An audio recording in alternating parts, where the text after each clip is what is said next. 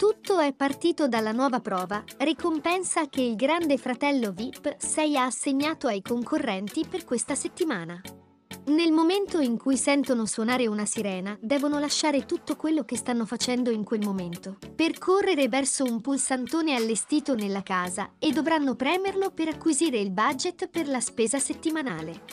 La prima coppia che è stata scelta per questa prima era composta da Davide e Soleil. Questo pomeriggio, quando è suonata la sirena, Soleil per riuscire a svolgere la prova nei 30 secondi previsti. Ha lanciato in maniera un po' maldestra il bicchiere che in quel momento aveva tra le mani. Non l'ha appoggiato, l'ha tirato. Se si spaccava ci andava tutto in faccia. Ha sbottato in un primo momento Raffaella, che successivamente ha avuto modo di parlare direttamente anche con Soleil e tra le due vippone si è accesa la lite verbale in casa. Secondo me siamo arrivati tutti ad un limite di sopportazione. Ha ammesso la sorge discutendo con Raffaella e aggiungendo che a questo punto del gioco qualsiasi cosa sbagliata viene considerata grave e inizia a dare fastidio. Me lo ha buttato, se si spaccava mi andava tutto in faccia.